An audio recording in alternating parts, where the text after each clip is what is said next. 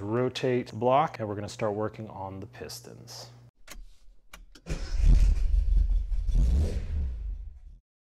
All right, so we have the block flipped and what we wanna do now is go ahead and measure each of the bores of the six cylinders. We know roughly where they're at, but I want a little bit more accurate of a number. And the way we're gonna go ahead and do that is using a dial bore gauge like this one. And there are assortments of different sizes of lengths, and we know roughly it's a little over three inches. So we're gonna actually pull the 3.2 but we're also going to use the 0.005. We're going to put that on this piece and the 0.02. And we tighten this on. And what we want to do is make sure that the dial is at zero. And now that we have those adapters on, so roughly we should be at 3.27 inches. And we're going to stick that in each of the bores and we're going to roll it back and forth.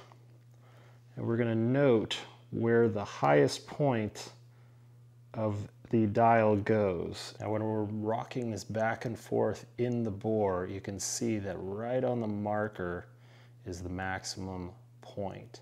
And you're gonna wanna do that at three different angles to the bore and make sure that that marker that you've set is the maximum spot. So now that we have our marker set, Let's go ahead and take this to the bench and see how the diameter of the bore is. If we look at our dial now, once again, each of these increments is 0.005 of an inch and it's marked on your dial. We can count over 15 marks.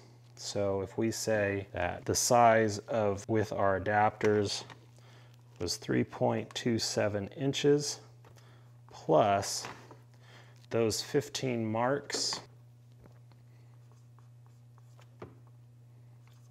0.0005, which that equates to 0.0075 of an inch. That gives us a total of 3.2775 of an inch of diameter. Now we need to do that to every single cylinder just to make sure they are the same. Now the reason why we are measuring our bore is because we need to set the gap to our piston rings and the manufacturer states that for a street engine normally aspirated what we want to shoot for is 0.004 of an inch for every inch of diameter and that will give us 0.013 of an inch of gap that we need to check for. So with checking gap, what we're gonna do is take all of our rings and we'll just start with the one cylinder to show. We are going to carefully insert it. And then in this case, I'm going to use a piston to make sure that the depth, I'm just gonna go to the first ring, make sure that is square in the bore. They do make tools for this very thing that will make it a lot easier. And then you take a gap tool and the minimum is 0.013 that we need to set this gap at. And what I want to do is put it right in between the ring and just feel a slight tug. And we're just a little bit above 0.013. But let's say this didn't fit. Let's say that we needed to gap this. So in the event that you needed to gap one of your pistons, you would need something at least like this, which is a sanding disc on a crank, and you would put in your ring and line it up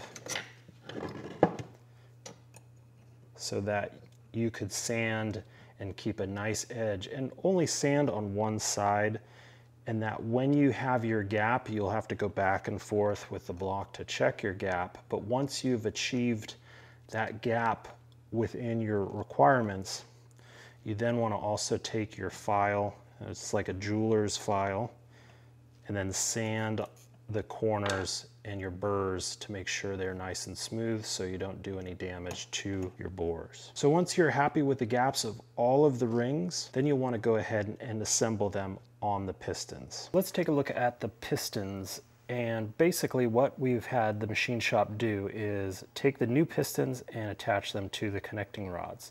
The other thing that they did was they took the ends and shaved them, reattached, and then rebored the large end of the connecting rod to factory spec. So this is back to the original size for installation. So we are good with our bearings that we bought.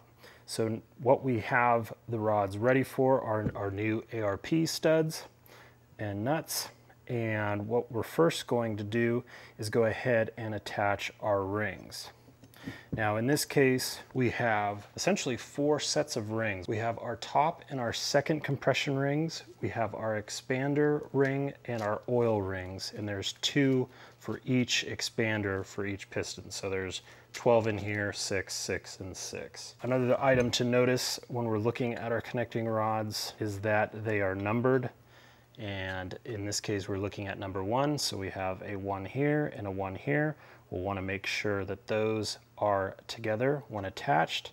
And as well, most pistons have a marking on the top to say that this goes to the front of the engine. In our case, these pistons are marked with the letter F for front. So this will be going to the front of the engine block. Now, if we look at the parts of the piston that we're going to be attaching the rings to is we have three channels and top channel is for our top compression ring and the middle channel is for our second compression ring or middle compression ring. And the third channel is for an oil ring, an expander ring, and then a second oil ring. And basically the expander ring sits sandwiched in those rings.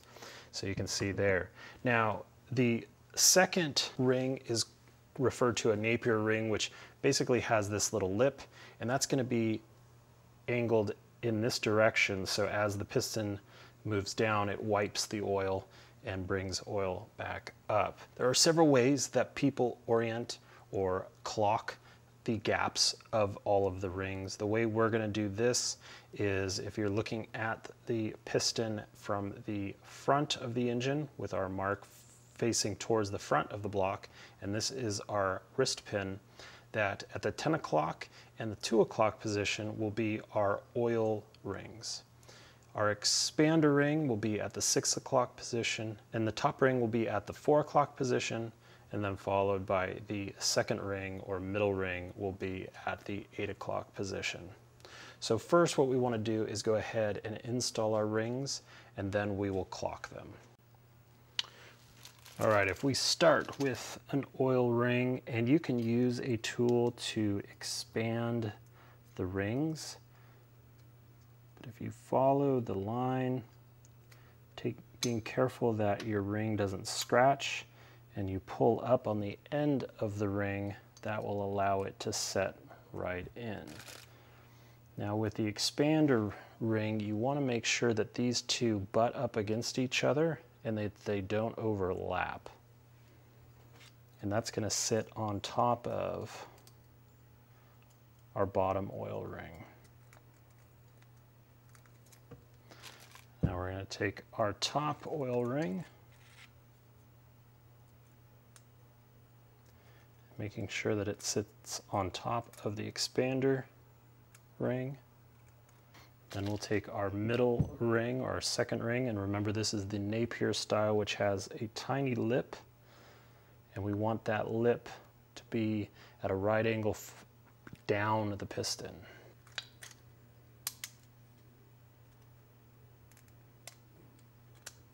And then on the top ring, in our case, it is just a standard ring. It can be installed either way.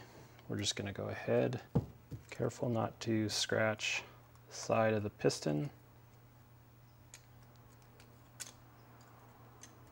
And now that we have the rings, we can go ahead and clock each one. Now that we have the rings all clocked in their correct order, what we want to go ahead and do is get our ring compression tool and we want to make sure that those rings stay in their order. And on the ring compression tools, there's these little notches or indents. That's gonna go on the bottom of the block. So what we wanna do is tighten this up. Now once that's tightened up, now you are going to want a couple stubs of some fuel line and that's for the studs or the rod bolts. When you put them in and you insert the piston into the cylinder bore, then that way it protects everything such as the bore and also the crankshaft from scratching. So we're gonna put those on and then install these pistons. Now what we wanna go ahead and do is clean out our bores of any debris and we're just gonna use a little rag and some brake clean. We're gonna start with cylinder number one at the front of the engine and we make sure we have our number one piston and as well that our bearings are installed. And now we're gonna put some assembly lube on we want to put a little WD-40 in the cylinders, align our piston to make sure the F in the right direction or the front of the piston as well that our crankshaft is in the bottom dead center position.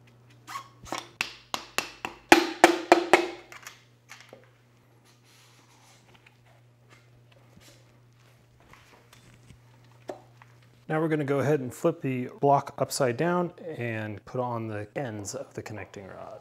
Now that we have the block flipped, we're going to go ahead and use some assembly lube on the bearing races of the crankshaft and we're going to be doing cylinders 1 and 6 at the same time. So we're going to go ahead now and install our rod ends and we put assembly lube already and we just want to make sure that our numbers on the rod ends line up with the rod. We're going to use the ARP lubricant for the fasteners on the bolts.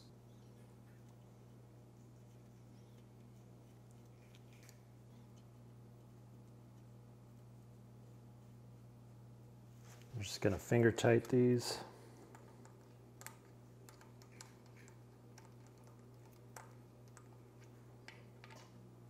And now we're gonna torque them to spec.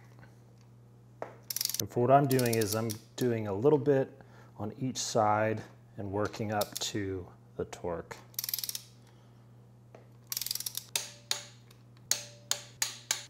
All right, so we've finished one and six, and so now we're gonna move on to two and five, and then three and four, and we do that because they are pairs, essentially, and so we can install and get the pistons in at the same time. So now we're gonna go ahead and do that off camera and then we'll flip the block around. All right, so we've got all the pistons in and torqued.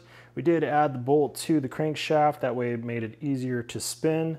And then I also added a little bit more WD-40 on the walls of the cylinders.